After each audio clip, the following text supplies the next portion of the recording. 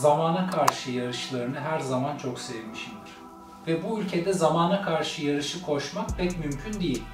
Hani Türkiye şampiyonasını koşarsın. Triatlonlarda böyle takım olarak girip belki bir bisikletçi olarak bisiklet ayağını yapabilirsin zamana karşı olarak. Eğer disiplinini seviyorsan tek şansın ya uzaktan sevmeye devam edeceksin televizyonda izleyerek ya da kendine zamana karşı yarışları yarışları düzenleyebileceğin ortamı oluşturacaksın. Sarıyer Challenge fikri de bana buradan geldi. Nedir Sarıyer Challenge?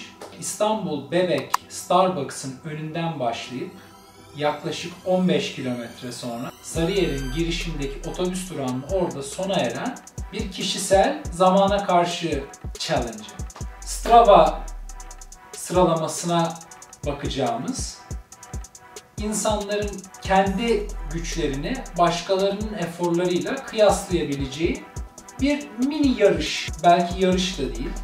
Önemli olan bir kural var. Takım ve grup olarak segmente dalmıyoruz. Bunun dışında centilmenlik istiyoruz herkesten. Sarıyer Challenge'ın benim ilk düşündüğüm reenkarnasyonu Bebek Starbucks'tan başlayacak.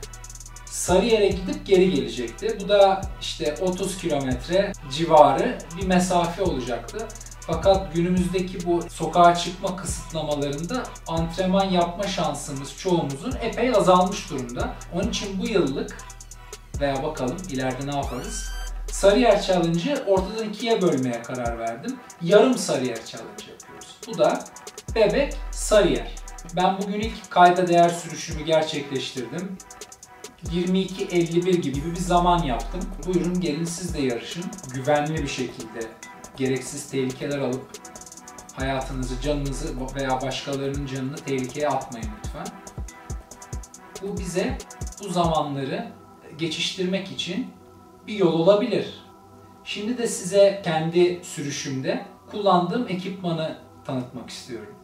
Öncelikle Decathlon'dan gece sürüşüne uygun saydam bir gözlük, aero bir kask, TT kaskım olsa kullanırdım. Sonra ünlü tulum AliExpress'ten gelen tabii ki de. Onun yanında aero çoraplarım var. Sonra bisikletimiz var.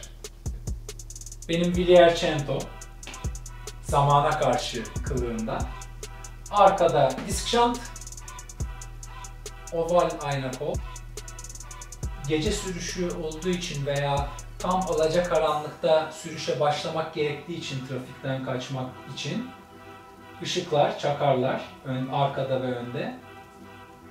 Yedek iç lastik tabii ki yani yolda kalırsak ne yapacağız? Aero matara.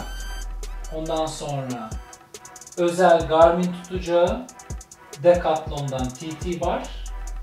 Önde 50 mm profil. Ve bisikletin en az ayrı olan özelliği aksiyon kamera tutucusu. Ne yapalım? Vlog çekiyoruz. İçerik her şeydir. 100 psi hava janta. Böyle.